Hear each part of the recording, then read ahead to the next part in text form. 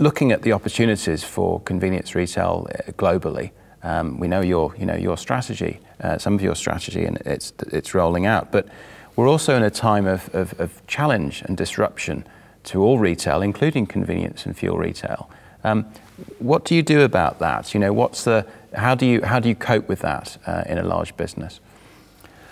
Uh, I think disruption, you could either look upon it as something bad or something good to move forward. Um, I'm the type of leader that looks to disruption as an opportunity to further develop. I think uh, it will happen a lot within retail.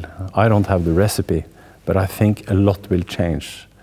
Um, and um, obviously, uh, kind of the core of our business, uh, fuel. Uh, we know uh, that the electric car is coming. We know that uh, the, car manufacturers are about to solve kind of the production issues. In a couple of years, the cars will be cheaper to produce than a normal car. It's much cheaper for a customer to maintain it. The reach kind of the, uh, the, problem with the reach is almost solved. Uh, next year, Audi will come with a car that goes 600 kilometer, etc., etc. So I don't think you can stop that.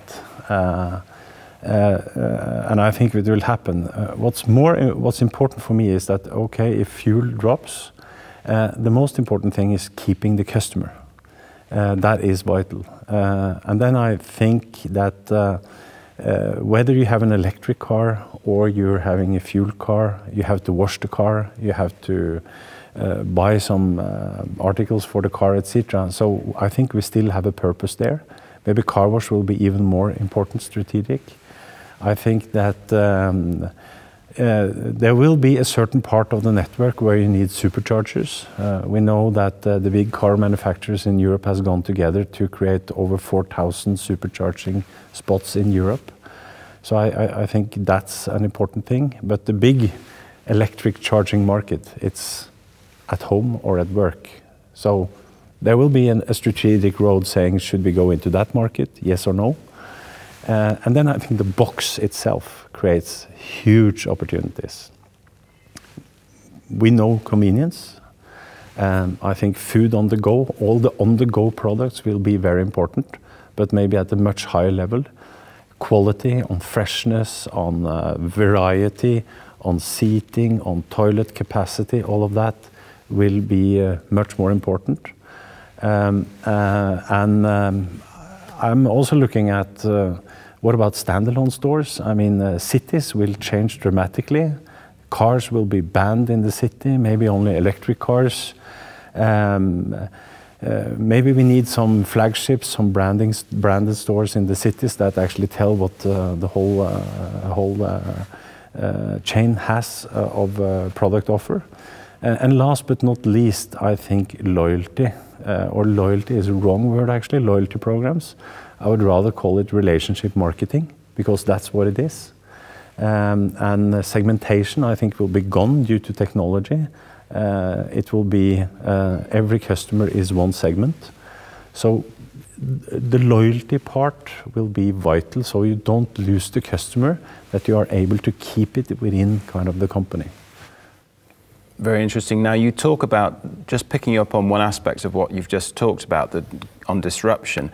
Um, obviously it's a management book, so you, you, you often talk about uh, ideas and challenges, and then you propose a toolkit in, to deal with it. And you have in this case, because I think there's a very good idea in the book about developing a two clock speed culture, um, which I thought really nicely provided a solution to legacy businesses who, who are challenged by disruptors coming in and stealing their market and not really being able to respond to that uh, in a traditional way. Tell us a bit more about this twin clock speed approach because I think it's a really big idea. If you take the example of disruption, I think there's uh, one type of companies saying that, uh, wow, this is uh, so exciting, and the whole company is kind of getting uh, into this uh, the, future business. and in that process, they tend to forget their current business. Um, uh, the other type of uh, companies say, uh, well, you know, this disruption, I don't think it will happen. It will go over by itself, uh, and at least it will not hit our company. Um, both of them are wrong. I don't think it's either or. I think it's both. So I think a sound company, you need, uh, whenever there's disruption, you need to kind of focus on your current business. For instance, we sell 9 billion liter of uh, fuel. Uh, and even the, if the electric cars are coming, we, we can't stop doing that. That's a cash flow machine. So we want to sell the last drop, and we will focus on fuel until the last drop is gone. But at the same time, we want to have people working with the future. For instance, electric cars, etc. Uh, and you have to be able, as a leader and as a company, to have both, both worlds in, in at the same time, without kind of destroying your business.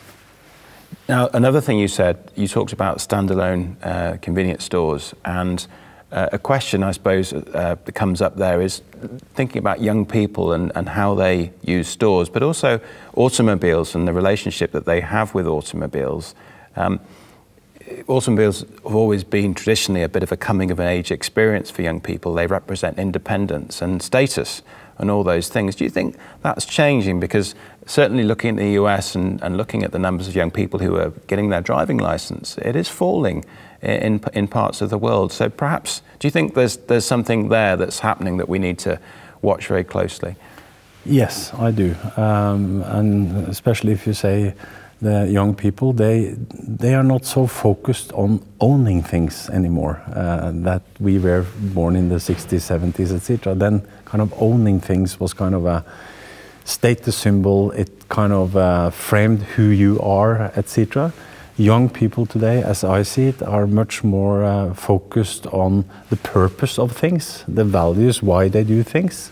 Uh, and therefore, uh, car for them is much more practical. It's uh, convenient, so for them, they can share a car, uh, they can uh, lease a car, they can do different kind of transport solutions. They can ride together with other people that have a car they don't need to own things. Uh, and I think that will change dramatically. And car sharing uh, will come, I think. I think the ultimate thing will be that you just pick up your phone, uh, have an app, and say, uh, I want to go from A to B now. You push that, and then uh, you have put in a profile by yourself what type of car you want, how many people you want to ride with.